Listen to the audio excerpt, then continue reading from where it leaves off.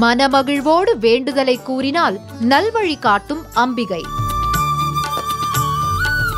செல்வத்தை அபிவிருத்தி செய்யும் அம்மன்.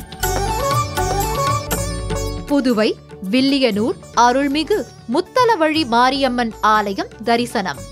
ஆலயங்கள் அற்புதங்கள். நாளை காலை ஆறு மணிக்கு. மறு ஒளிபரப்பு மாலை ஆறு மணிக்கு. நமது புதியுகத்தில்.